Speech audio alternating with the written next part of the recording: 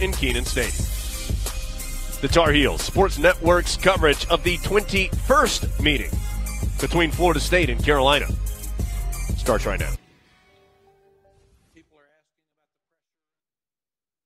On a roll. Things are good, and I'm I'm excited about it. I mean, we're all holding ourselves now to a super high standard. We've got the leadership. We prepare the same way for every team. Uh, you know, no game is bigger than, than others. We've got the confidence. I feel like now nobody can stay with me, and it just rolls into practice. If you're seeing it in practice, it's going to show up in the game. I embrace the challenge, honestly. I just know I got to keep on going. Me coming down, you know, making plays. You know, anticipate things more. You know, it's, it's only going to keep getting better. We're going to be good every year.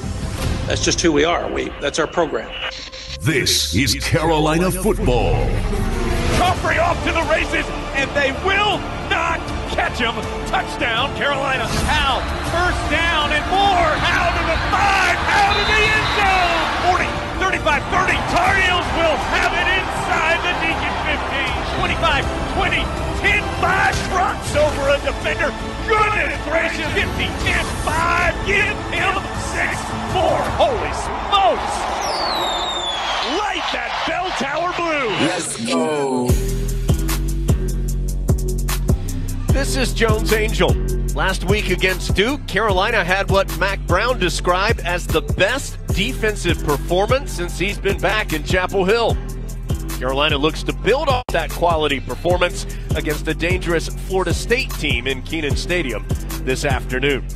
Talking about big time defense. Brian Simmons, two time All America at Carolina, has his jersey honored at UNC, played a decade in the NFL. And quite simply today, consistency and revenge are the two words that's on the table. And let's see if Carolina can make that happen. Which Tar Heel team shows up today? Lee Pace authors extra points and will be reporting from the potentially soggy sidelines this afternoon. Florida State entered the ACC in 1992, and the Tar Heels since then are 3 and 14 against the Seminoles. Miami joined the club in 2004, and Carolina actually has the better hand, winning 9 and losing 8. Now, for the first time ever, these two traditional football powerhouses from the Sunshine State come to Kenan Stadium on successive Saturdays. What an opportunity for Mack Brown and the Tar Heels. We'll have all those storylines to talk about, plus interviews with the head coaches, Mack Brown and Mike Norvell. We'll continue our weekly conversations with Carolina great Jeff Saturday. Check on scores from a busy day in the top 25 in the ACC. And boy, just that and a whole lot more. We got to get you ready for this bad boy. It's Florida State at Carolina, the Reed's Jewelers pregame show from Learfield.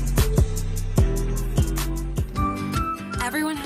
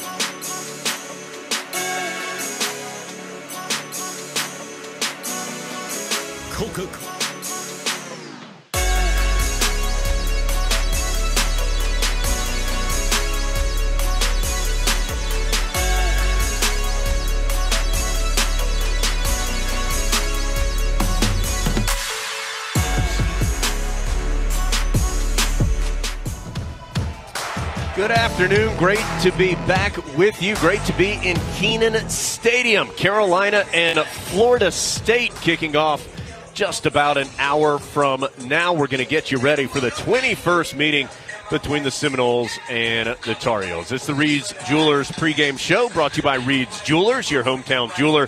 Trusted for generations. Maybe you're watching us as well on the Carolina Football Field Pass brought to you by Wells Fargo. That's out there in social media land Twitter, Facebook, YouTube, and more. Thanks for joining us no matter how you are doing it today. Jones, Brian Lee, we're all here along with Ben Alexander, our chief network engineer. You're going to hear from Dave Nathan coming up in just a little bit. Jody Zordner, our statistician. John Essick back in our Tar Heel Sports Network studio. Let's get to it. Brian, 38 7, the final score a week ago. Carolina just kind of suffocated Duke with what Mack Brown called the best defensive effort since his return to Chapel Hill. Carolina stopped the run for the most part. There were one or two big plays in that in that way, but for the most part, stopped the run, forced turnovers, got off the field on third down, and made disruptive plays in the backfield. That is a recipe the Heels would love to replicate today and moving forward. And I agree with the coach. I thought last week was a very good performance. And anytime you, like you said, uh, Jones, if you could stop the run, force turnovers, and get off the field on third down, you're going to have success on defense. And now let's see if we can start replicating that from game to game. And that's the big question. We all know Carolina can do that. They have the, like we talked about last week, they have the skill set to do that. They have the players. The scheme is in place. The kids should know the scheme really well at this point. Now the consistency should start showing up. And let's see if Carolina can take a step in that direction today. And Brian, that third down aspect went both ways. Not only did the Tar Heels limit Duke to 13% third down conversions, but they also converted nearly 50% themselves. So, combination of both sides of the ball working well off one another to keep the ball moving down the field on offense and to get off the field on defense. Defensively, last two games, so that's even that, that ugly performance in Georgia Tech. Carolina's opponents, 5 of 26 on third down the last two games. So the Tar Heels have done a nice job in that area here as of late. Lee, offensively, Carolina put up 31 points because remember, there was a defensive touchdown. So 31 offensive points, more than 450 yards in the win over Duke, and yet. Carolina allowed 10 tackles for loss and five more sacks, bringing, bringing the season total to 22 sacks allowed. Heels are doing some good things on offense, but also still a lot of things to work on. Well, Jones, last year, with the exception of Brian Anderson at center missing the Wake Forest game, Carolina pretty much had that starting veteran offensive line together the entire way through 12 games, and, and that means a lot. Uh, you've got that consistency, you've got that uh, that glue with those guys playing game after game. But so far, Anderson has been in and out. Jordan Tucker has missed a start. Joshua Ezeudu has missed a, t- a start. So Phil Longo and Mack Brown both have talked about just really need to get that continuity and get that consistency at the offensive line, and we still don't know how far along that is. Brian Anderson was not able to go much last week. That prompted the coaching staff literally to have like a tryout at center for the, the third team center, which Caden Baker wound up playing a handful of snaps there in the first quarter last week. Quiron Johnson really came on and played solid and was one of the players of the game on offense, so he's going to get the start again today. Elsewhere, just around the, the rest of the offense, Jones, it's the offensive line. It's giving Sam time. It's the receivers getting separation. It's Sam making the right decisions, being confident, and Sam not trying to. I mean, he's done a great job running the ball, but let's not take a good thing too far and overdo it.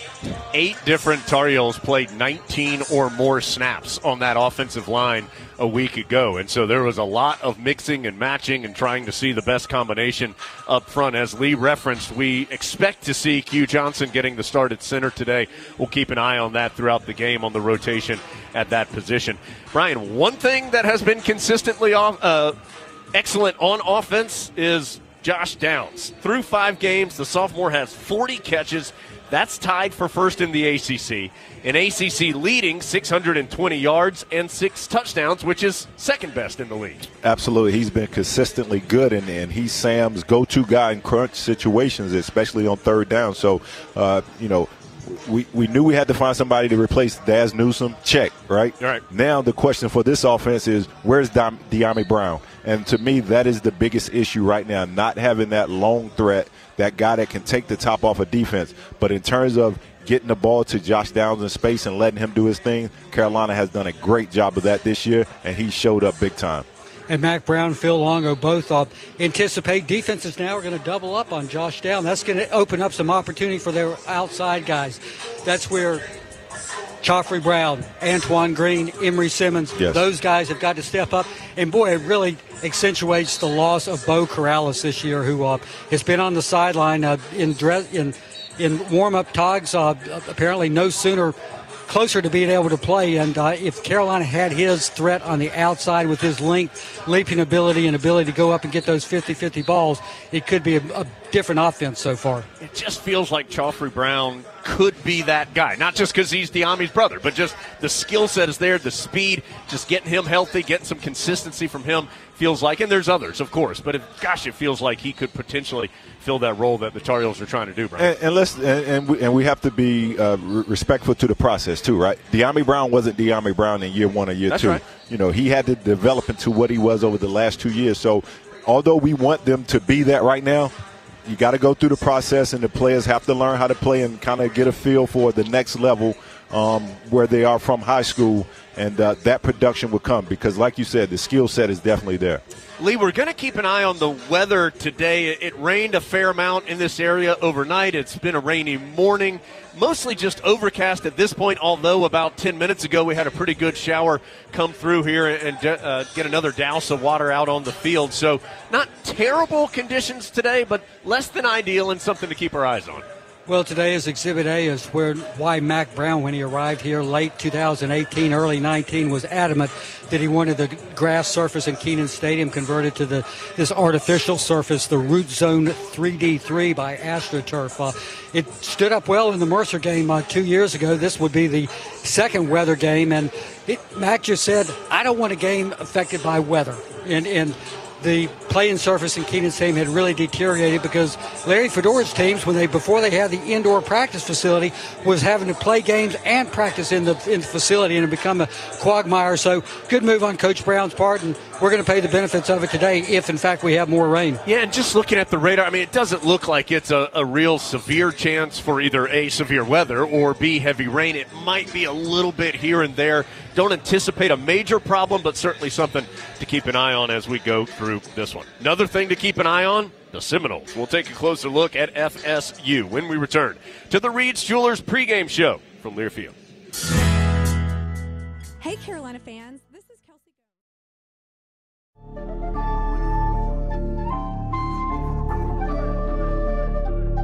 KJ, what you got going on, man?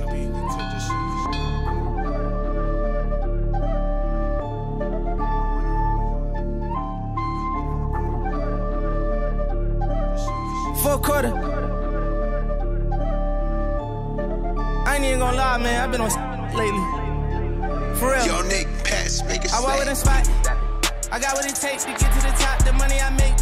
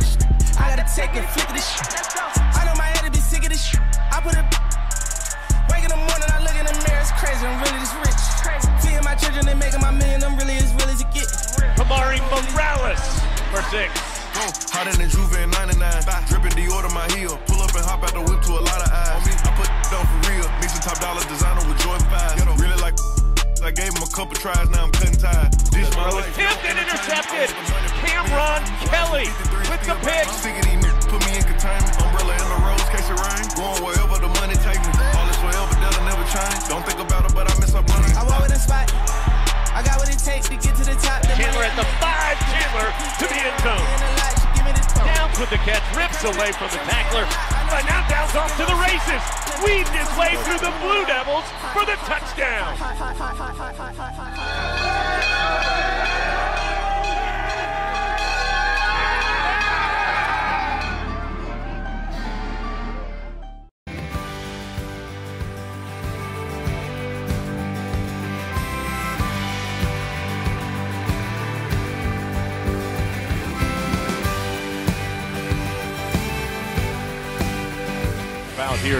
Stadium as we prepare for Carolina and Florida State.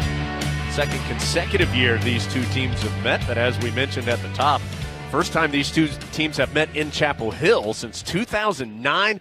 First time they've met on a Saturday in Chapel Hill since 2003. We're talking almost 20 years since there's been a weekend game against Florida State for Carolina football in Chapel Hill. Speaking of the Noles, they and the Tar Heels out on the field, at least a portion of the team going through warmups.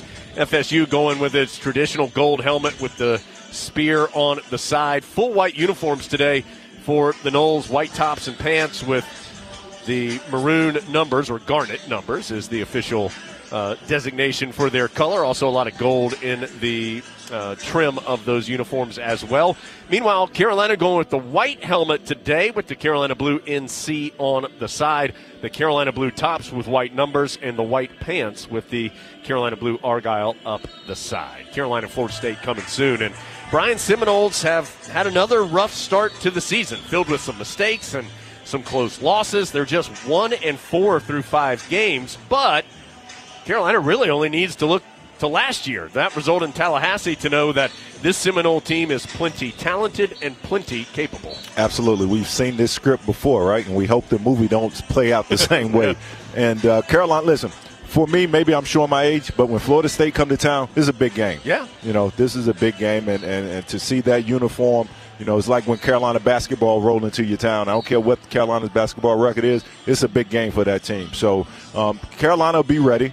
Um, Florida State has talent. They have speed.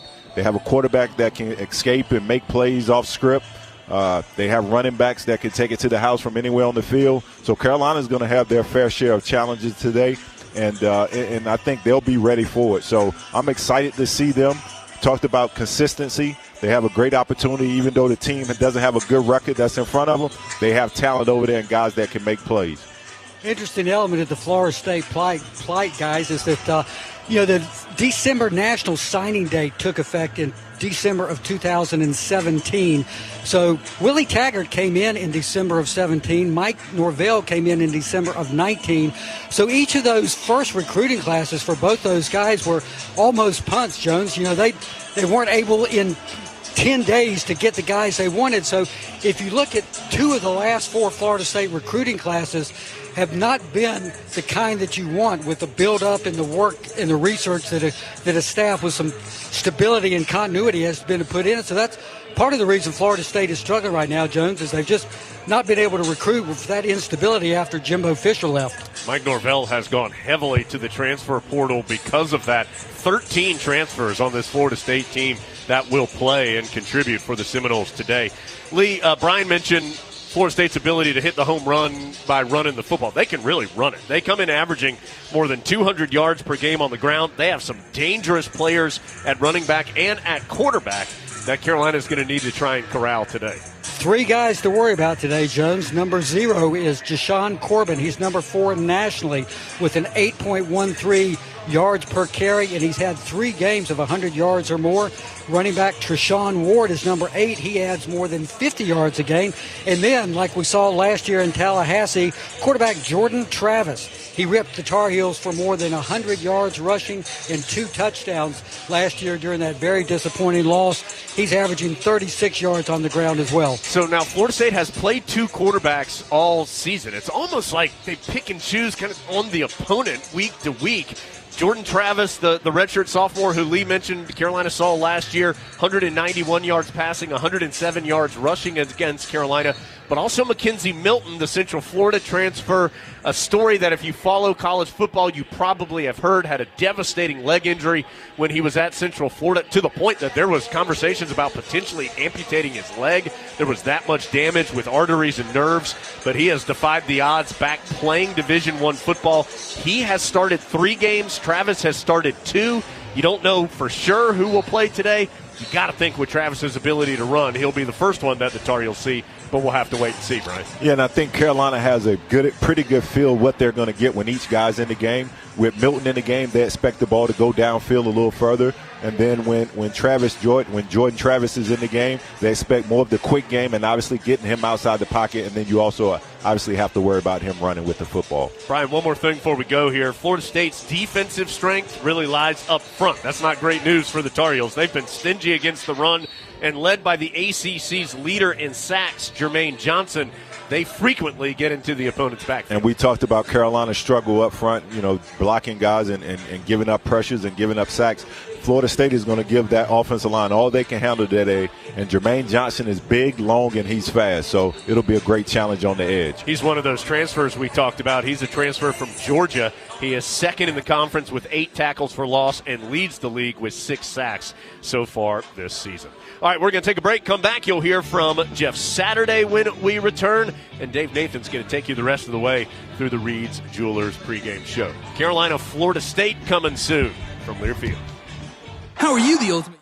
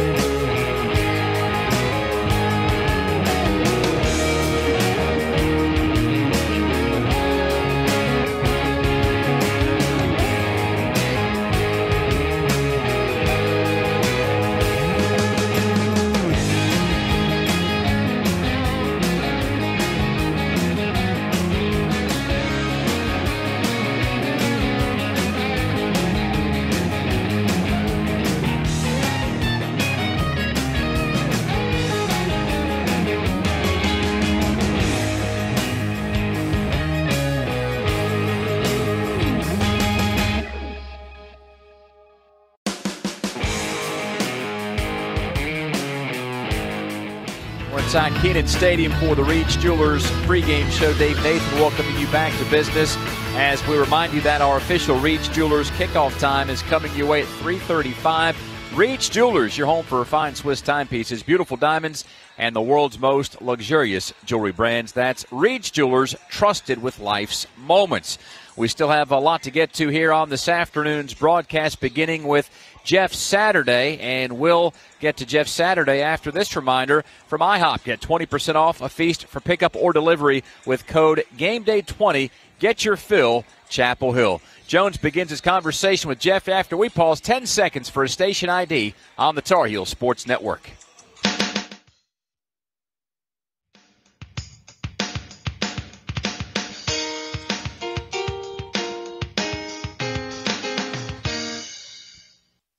Game two of this three game Game two of this three game homestand for the Tar Heels comes this afternoon as Carolina welcomes Florida State to Chapel Hill. First time since 2009 that the Seminoles have been in Kenan Stadium. To help us get ready for that one, as always, is Jeff Saturday. Always have a great time, and we learn a little something when we chat with Jeff every single week. And Jeff, let's go back to last week. Carolina had what Mack Brown called its best defensive performance since he had returned to Chapel Hill. And on the offensive side, uh, an offense that's still trying to find its way a little bit. When, you have a defense that is playing to the level that Carolina's defense did last week, how does that help you? How, how does that allow you uh, to maybe be patient or to call things differently? How does that help you as an offense when your defense is playing well? it's like your best friend, Jones, right? It's like you're chilling with your best friend when your defense plays like they did last week. You know, it's like I, mean, listen, I had some of those days in Carolina myself. You know, when I'd wait on B Sims and them boys to take care of business, and we didn't always have to be our best on every single drive. no, but it, in all honesty, man, like it. It is, it is a, a, a warm welcome feeling from an offensive player, man. When you see that your defense is just stoning um, offenses the way we did last week, it gives you confidence to know you don't have to be perfect. I mean, I know that you and I have talked about it many times. From an offensive perspective, when you feel like you should be a, a, a big strike or a, a big play offense and things aren't coming as easily, you begin to put a lot of pressure on yourself. But when you can allow the game to come to you, you don't have to press, you don't have to force and make mistakes uh, because you can really rely on that defense to do what it did last week. Man, it is I kid you not, bro. It is it is just like sitting and watching a movie with the best friend, man. Greatest feeling in the world. Jeff Mack uh, Brown has talked about this not just with Carolina, but kind of across college football this year. Outside of a couple of top teams, it just seems like you don't really know what you're going to get from week to week from anybody, yeah. and then you'll have some great performances followed by some not as great performances. Well, what's the key to get to that constant level and to be able to build off good things that have happened the previous week and then continue those good things on a week by week basis? Yeah, I, I think from from my perspective, as I watch it, it's timing, right? It's it's it's continuing to build the timing of your football team. And so I, I give you a great example, like offensive offensive line play. When a running back gets the ball, when he gets the ball handed, it's the timing of where you are in your block and can you can can you sustain that block for wide receivers and quarterbacks? You see it all the time. Does that guy come open at the right time when the quarterback's back foot is hitting it, and can he deliver the ball? Uh, no different from defense, right? Can you fit in that gap at the right time when that hole opens up if you're a linebacker or break on at the right point? And so I think you go back to your techniques and fundamentals and you begin to say, hey, listen, the ebbs and flows of college football right now and to Max points are all, all, all over the place. You don't know if, if you're going to be, you know, if you're hitting your stride or you're going to be struggling with a team that you have no business really in a fight with. And so I think just going back into to the drawing board, understanding it's what we do, right? As, as the Tar Heels, what do we do today that makes us a better football team? And here are the things we're going to focus on. And it's irrespective of what they're giving us, what looks they're giving us. We have to work on this part of our football team and our game. I think that's really what, what Mack's looking for is you build your own consistency because you develop technique and fundamental that shows up no matter who your opponent is. And I think that's what he's looking for. And, and to his point, really, besides besides Alabama and Georgia right now, right. everybody everybody in college football is looking for. Jeff, uh, Florida State plays two quarterbacks, but one of them is Jordan Travis, and he hurt Carolina a year ago with his mobility down yep. in Tallahassee. He he ran for more than 100 yards last week against Syracuse. We're seeing that now bleed over into the pro game a little bit more as well. Uh, guys like, of course, Lamar Jackson, Kyler Murray, and others. What what are the challenges of a mobile quarterback when when you're the defense trying to slow one of those guys down? Yeah, it's 11 on 11 football. And, and, and the reality is that even as you grew up, the majority of defensive players are accustomed to playing 10 on 11, right? That you kind of take the quarterback out of the game. Um, and, but when he is a true dual threat, and, and, and, and the way that what you're talking about with Travis and, and different players, the ones you named in the NFL, it's they force you to have somebody monitor that guy throughout the entire play. So you you know you can no longer kind of cheat your alignments. You can no longer kind of cheat your positioning and understanding that man, if he takes the ball and there's an open grass on this side of the field, we're going to go find it. And I'll, I'll tell you, like that's kind of been the Tar Heels' Achilles heel a little bit, right? Is these is these mobile QBs, and so I, because again, I think it makes you match up more and more. So what do you do? You you make sure that the player who's assigned to the QB, that's his gig and everybody else, you know what you have to get accomplished without using that that, that extra player kind of in the box or in the defensive backfield spying somebody. And I think, but once you tag off on that guy a couple times, I say this to everybody. I don't care who you are in football. When you get hit and somebody you know is assigned to you and they make some plays on you, it makes you second guess yourself. And so I, I think from my perspective, that's what I've always watched in football is make sure that guy knows I'm coming for you all day you better be expecting it, and then then it kind of equalizes itself back to what you you originally want from a defensive perspective. Jeff, great stuff as always. Appreciate your time and your insight. Look forward to talking with you again next week, and uh, can't wait to learn a little bit more from you. I appreciate you, fellas, and go Heels.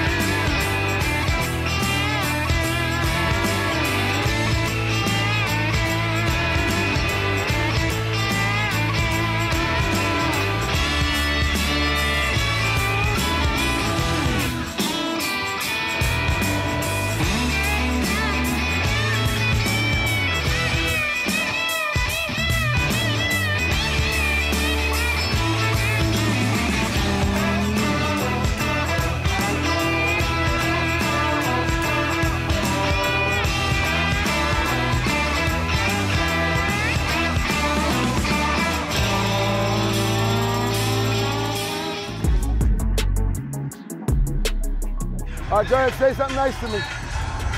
Uh, you're the best coach ever. Oh, stop. I didn't say lie to me. I just said say something nice. You guys like this sun? I like this sun. It's, vit- it's vitamin D. It's good for you. How about this golf green we have right here?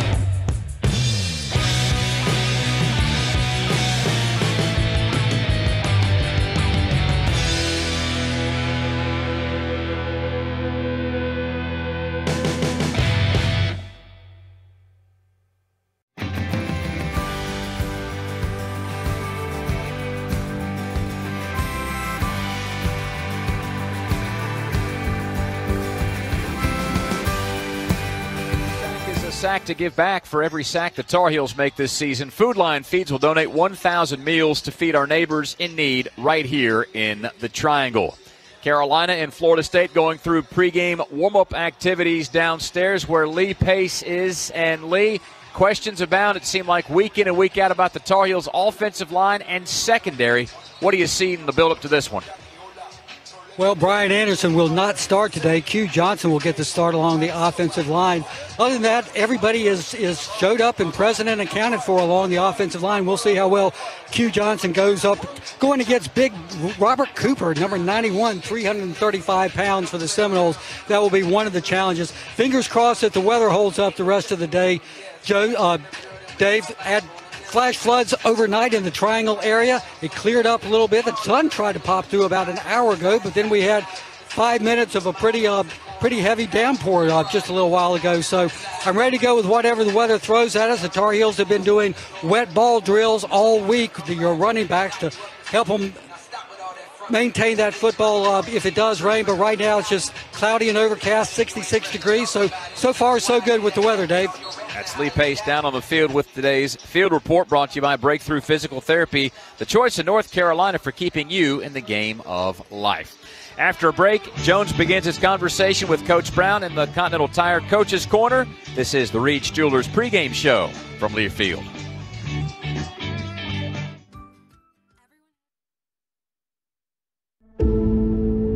came a long way. Reports indicate that Mack Brown is returning to Chapel Hill. It hasn't been easy. Now to growing concerns about coronavirus. George Floyd, Breonna Taylor. Through every sprint and set, we fought. Through the naysayers, the doubters, and all the talking heads who wrote us off. Through every sweet victory. Got it. Joy celebration. Touchdown, Carolina. Through every shadow expectation. Disappointed in it. Just a few years ago, we were on the afterthought. Brushed aside. A non-factor.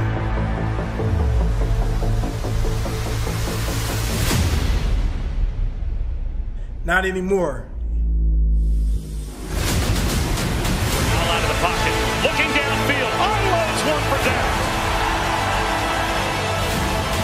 Is going to be swarmed. Lentz off the edge. It was Conley. Oh, my goodness. It's intercepted. Tony Grimes. The he is in it. Up and into the quarterback. Jump ball. Touchdown. And Mack Brown pouring it on. Came a long way. But this journey is just beginning.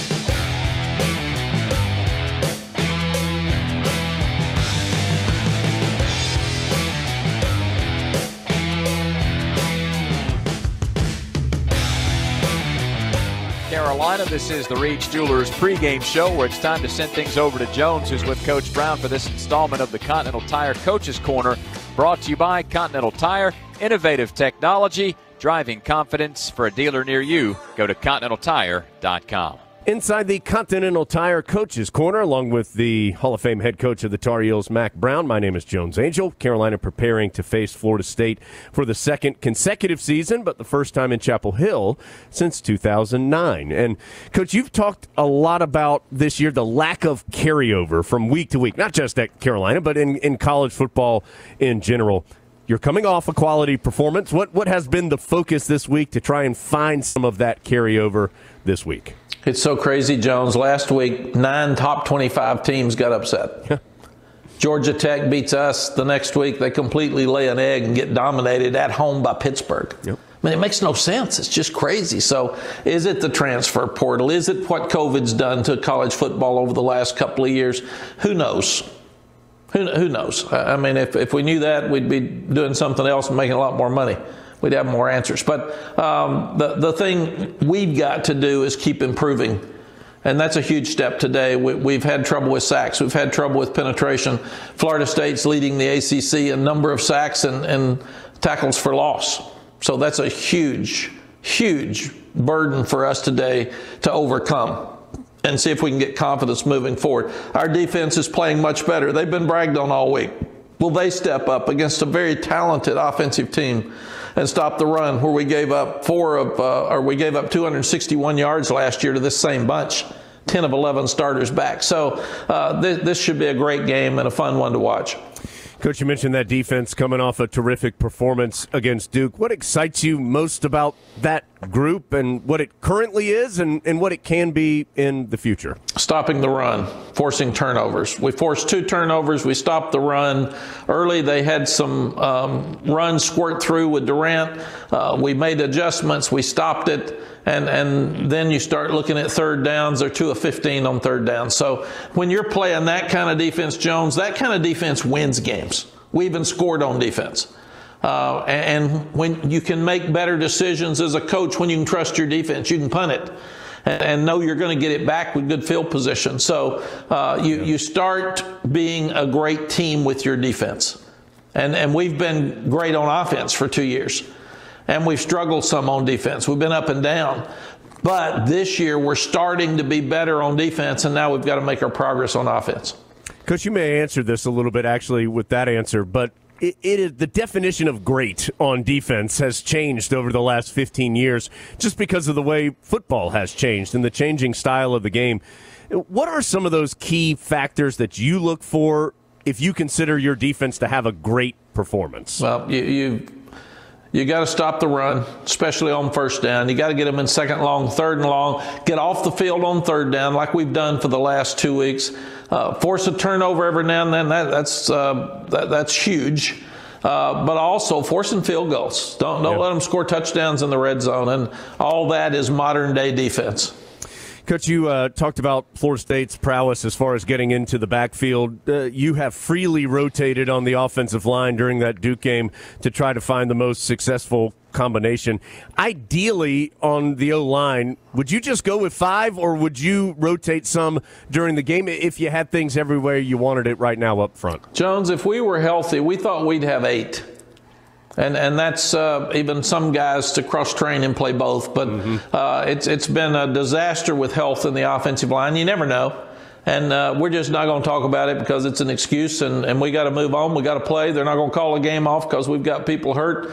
But we've recruited for two and a half years. I've told the coaches I don't want to hear about injuries take care of those young people if they're not practicing and, and, they, they can't live up to the level of play that we expect from them because of an injury, don't play them, but don't come to me and talk to me about somebody's hurt. Get somebody else ready to play.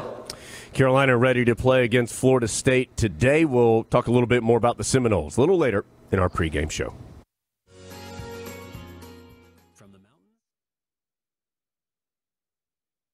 Here are Carolina's starters on defense. Ray Vohasek, McHenry, Illinois. Miles Murphy, Greensboro, North Carolina, Dudley High School. Kaimon Rucker, Hartwell Elementary. Chris Collins, VA Finest. Tomon Fox, Lawrenceville, Georgia. Jeremiah Gemmel, Newnan, Georgia. Cedric Gray, Charlotte, North Carolina. Ja'Qurious Conley, Jacksonville, North Carolina. Trey Morrison, Atlanta, Georgia. Kyler McMichael, Atlanta, Georgia. Cam Kelly, South Norfolk, Virginia. Tony Ground, 757 where the dogs at.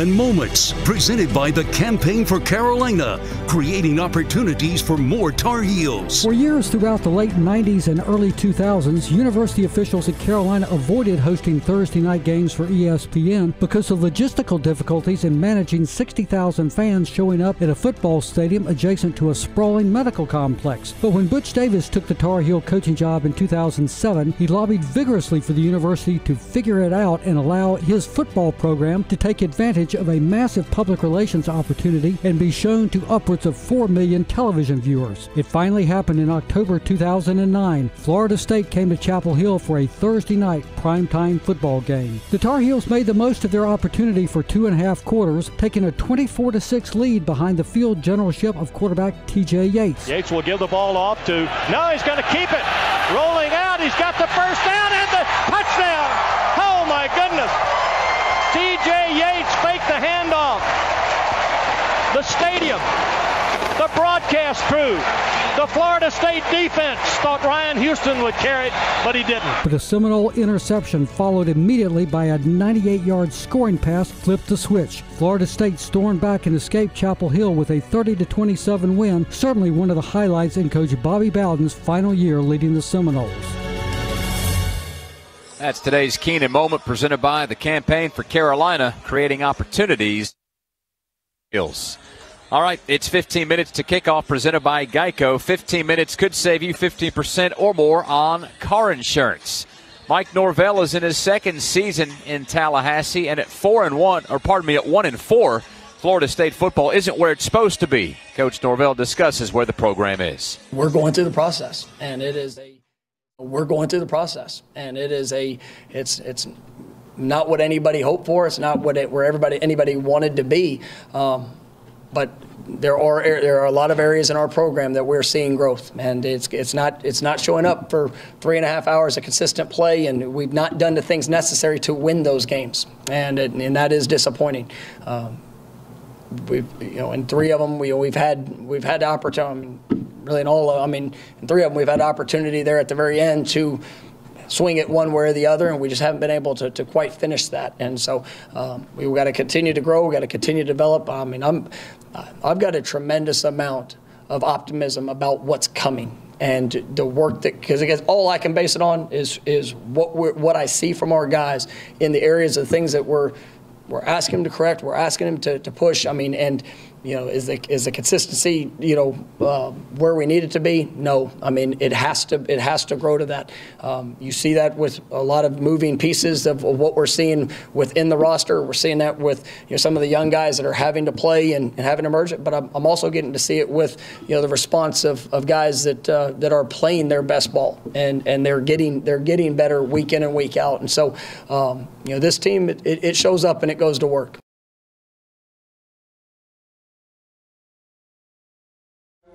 Here are Carolina's starters on offense. Quiron Johnson, Reidsville, North Carolina. Easy, Atlanta, Georgia. Jordan Tucker, Roswell High School, the Crib University. Asim Richards, Philly. Marcus McKethan, Baltimore, South Carolina. Garrett Walston, New Hanover High School. Antoine Green, Rockledge, Florida. Josh Downs, Slimy Little Dude High School. Emery Simmons, aka Zip Simmons. Ty Chandler, Montgomery Bell Academy High School. Sam Howell, Indian Trail, North Carolina.